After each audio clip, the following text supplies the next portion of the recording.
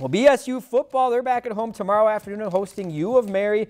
Beavers coming off their first shutout win since 2012.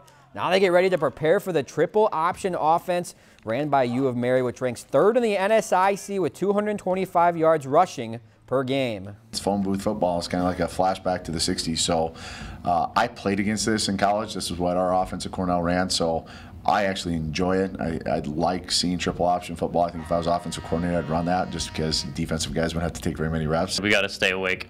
Uh, we see it on film, you know, other defensive backs uh, falling asleep because, you know, run, run, run, run, option, run, run.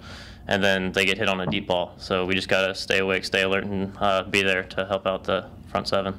I've seen, I'm sure you've seen some triple option offense uh, in, in your history you know, not too much. Not More too much. veer back in the day yeah. in power, but uh, there certainly was run. But yeah, uh, yeah it'll it's, be it's different. A different. It's a different Certainly style, in the conference now with the up tempo passing, passing, yeah. passing. That's a definitely a change up.